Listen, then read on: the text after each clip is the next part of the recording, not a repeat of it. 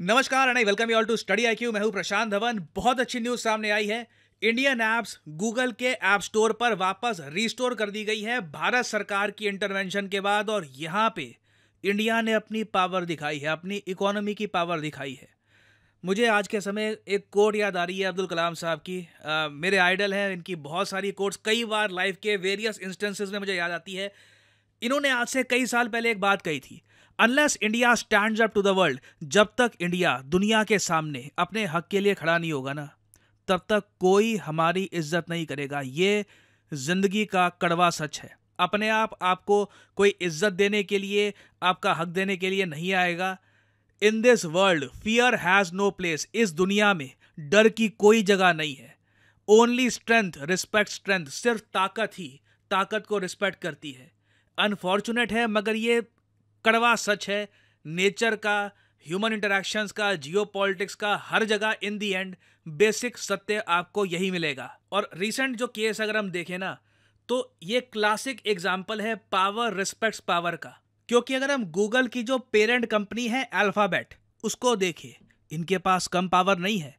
अगर हम market capitalisation के हिसाब से देखें, दुनिया की सबसे बड़ी कंपनी है माइक्रोसॉफ्ट। उसके बाद एप्पल, छठे नंबर पे आपको मिलेगा अल्फ़ाबेट। मार्केट कैपिटलाइजेशन कितनी? 1.7 ट्रिलियन यूएस डॉलर्स। टर्की और पाकिस्तान की नॉमिनल जीडीपी को मिला दोगे ना, तब भी ये अमाउंट आपके सामने नहीं आएगा।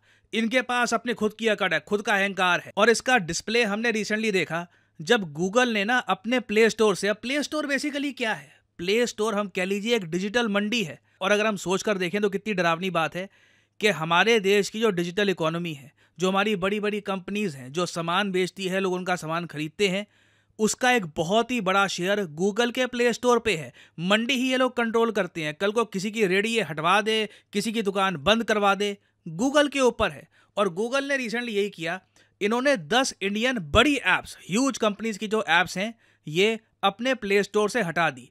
इनमें कई बड़े बड़े नाम थे। भारत मैट्रिमोनी, जीवन साथी, नौकरी, शादी डॉट कॉम समेत कई और वेरियस कंपनीज़ थी।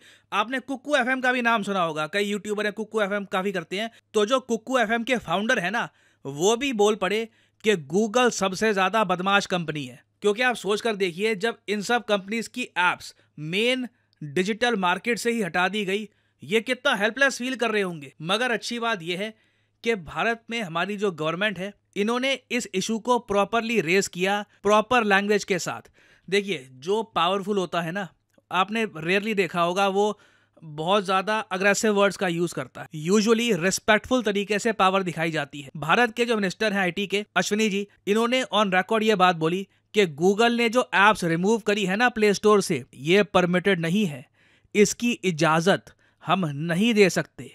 ये बहुत ज़्यादा कड़े शब्दों में गूगल को एक मैसेज भेजा गया था कि डिसीज़न यू टर्न करो रिवर्स करो। ये आप जो कर रहे हो इट इज़ नॉट परमिटेड और यहीं पे बात आती है पावर रिस्पेक्ट्स पावर की। गूगल को पता है कि इंडिया दुनिया की फास्टेस्ट ग्रोइंग इकोनॉमी है। फ्यूचर में रेवेन्यू कमाना है। इंडिया से ही कमाना होगा। इंडियन गवर्नमेंट से लड़के या फिर रिश्ते खराब करके कुछ भी ये गेन नहीं करने वाले। और यूनियन मिनिस्टर अश्वनी जी की इंटरवेंशन के बाद गूगल ने इंडिया की एप्स रीस्टोर करनी स्टार्ट कर दी है अपने प्ले स्टोर पर। यह मैं आपको बता दूँ, कोई और देश होता, पाकिस्तान होता या फिर अफ्रीका का कोई देश होता इवन टर्की होता गूगल नहीं सुनने वाला था। बट इंडिया के केस में एप्स वापस आ चुकी हैं और ऐप्स आर रिस्टोर्ड और यहाँ पे ऐसा नहीं है कि एप्स के वापस आने से कुछ हमें बहुत फ़र्क पड़ गया। मेन इशू ये है कि अब्दुल कलाम साहब वाली बात कि अगर तुम अपने हक के लिए खड़े होगे स्ट्रेंथ अपनी दिखाओगे फियर नहीं दिखाओगे तभी दुनिया तुम्हें रिस्पेक्ट करेगी। अब यहाँ पे आपका क्वेश्चन आएगा मगर गूगल ये सब कर भी क्यों रहा था? अचानक से इंडियन ऐप्स को रिमूव करना इन्होंने स्टार्ट भी क्यों किया? वेल well, यहाँ पे सारा इशू है गूगल की 30 परसेंट फ़ी का। आज से कई साल पहले 2020 के आसपास गूगल ने अपनी बिलिंग पॉलिसी लागू कर दी थी दुनिया के कई देशों पे। एक्चुअली ऑलमोस्ट पूरी दुनिया में ही इन्होंने लागू कर दी थी और ये कहा था कि हमने जो डिजिटल मंडी बना दी है एक डिजिटल मार्केट बना दी है, जहाँ पे अपनी दुकान खोल के आप लोगों को सामान बेच सकते हैं। तो आपको अगर हमारे डिजिटल मॉल में बैठकर सामान बेचना है तो 30 परसेंट गूगल की तरफ़ लाइए। 30 परसेंट हमको पे करो। और इंडिया में मैं देख रहा था, कई ऑन्टरप्रनर्स हैं, कई बिजनेसमैन हैं, वो खुल के कहती हैं कि इंडिया में बिज़नेस करना देखिए बहुत ही मुश्किल है। स्टार्टअप कल्चर को हमने काफ़ी प्रमोट तो किया है, मगर ये स्टार्टअप्स लंबे समय तक चल कह रहे पाएँगे इसके बारे में किसी को पता नहीं है, क्योंकि एक बड़ा सिंपल सा मैं आपको ये बताऊँ, बहुत अच्छी ट्वीट है यहाँ पे वैभव साहब की ये कह रहे हैं it is not easy to run an app business in India Google हो या एप्पल हो एप्पल तो खैर लोग इतना यूज़ करते नहीं है, ज़्यादातर एंड्रॉइड यूज़ होता है इंडिया की मार्केट में। गूगल एप्पल दोनों ही ना अपने ऐप स्टोर पर तीस परसेंट चार्ज करते हैं कि जी तीस परसेंट तो हमारे पास ले आओ। सौ रुपए का आपने सामान बेचा, तीस रुपए गूगल के हो गए। फिर सरकार को आपको अलग से अट्ठारह परसेंट जीएसटी पे करना है। तो जो सेलर है, वो कितने कमाएगा? और जो उसका प्रोडक्ट है, वो लगातार महँगा होता जाएगा, क्योंकि कहीं ना कहीं उसको भी अपनी कॉस्ट कवर करनी है बिज़नेस को सस्टेनेबल बनाना है। और ये बात आप देखोगे, कई ऑन्टरप्रनर्स ने ये बात खुल के कही है कि अब ये बात क्लियर हो चुकी है।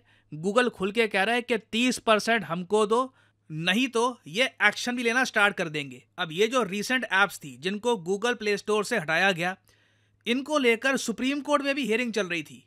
यहाँ पर आप देख पाएँगे बहुत सारी जो भारत की स्टार्टअप्स हैं, ये सुप्रीम कोर्ट चली गई थी। इन्होंने कहा कि गूगल की जो बिलिंग पॉलिसी है अनफेयर है। हम कैसे बिज़नेस रन करें? प्रॉब्लम आ रही है। और सुप्रीम कोर्ट ने ये कहा कि हम बिल्कुल स्टार्टअप की प्लीज़ सुनेंगे, मगर इंटरिम ऑर्डर पास करने से मना कर दिया।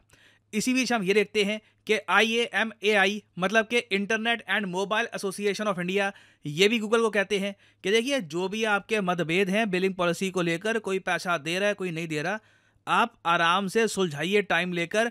किसी को डी लिस्ट मत कर दो। किसी को अपनी मार्केट से उठा के ही मत फेंक दो। ये ठीक नहीं होगा। मगर जब गूगल ने कहा कि देखी जाएगी, हटाओ। एक बार को एग्ज़ाम्पल सेट करते हैं। हटाओ इन लोगों को अपनी मार्केट से और बताते हैं लोगों को कि जो पेमेंट नहीं करेगा, उसके साथ हम ये करेंगे। यहाँ पे ना, ये देखकर कई जो बिजनेसमैन हैं ऑन्टरप्रनर्स हैं, वो ये कह रहे थे कि ये तो एक बहुत ज़्यादा डार्क डे है। यहाँ पे तो हमको साफ़ फील हो रहा है कि हम तो बेबस हैं। कल को अपने ही देश में डिजिटल प्रोडक्ट्स हमको बेचने हो। ये गूगल एप्पल के जो स्टोर्स हैं, इनके थ्रू ही बेचेंगे। कल को अगर ये पचास परसेंट कर दे अपनी फ़ीस कौन रोकेगा इनको? कौन इनको कहेगा कि नहीं, ये गलत है? क्योंकि मॉल इनका है डिजिटल मॉल इनका है, मंडी इनकी है, जो मर्ज़ी करना है करे ये। और मैं देख रहा था अचानक से जिस तरीके से ना इंडिया ने यूपीआई बनाया है। यूपीआई ने मास्टर कार्ड और वीज़ा का बिज़नेस इंडिया में काफ़ी हद तक कम कर दिया है। उसी तरीके से डिमांड ये उठ रही थी कि अब टाइम आ चुका है क्रांति का, कि एक इंडिया का प्रॉपर प्ले स्टोर होना चाहिए, जहाँ पर आराम से हम लोग बिना डरे, बिना प्रेशर के अपने जो प्रोडक्ट्स हैं, वो बेच पाए। और मेरे हिसाब से ये बिल्कुल हमको करना होगा। इससे देखो, एक काम ये भी होगा, जब गूगल की फ़ीस कंपनीज़ को नहीं पे करनी होगी तो ऑटोमेटिकली जो प्रोडक्ट है, वो कंज्यूमर के लिए भी सस्ता हो जाएगा। इट इज़ वेरी बेसिक तो जो रिसेंटली हुआ है, बिल्कुल ये डार्क डे था सरकार ने हालाँकि मामला संभाल लिया, बहुत सी ऐप्स रिस्टोर हो चुकी हैं, मगर ये आज का दिन ना एक रिमाइंडर है हमारे लिए कि हम कितने ज़्यादा डिपेंडेंट हैं गूगल पर और ये कितना ज़्यादा अनहेल्दी है। ना इस प्रॉब्लम का सोल्यूशन क्या हो सकता है? लिखेगा इसके बारे में कमेंट सेक्शन में। मैं जानना चाहूँगा आपका ओपिनियन आपकी कमेंट अगर बहुत अच्छी हुई तो मैं उसको पिन भी कर दूँगा कमेंट सेक्शन में और उसको हार्ट भी दे दूँगा ताकि बाकी लोग भी आपकी कमेंट पढ़ पाएँ। और फाइनली ये है अंत इस वीडियो का। Thank you for listening and as I always say May the gods watch over you.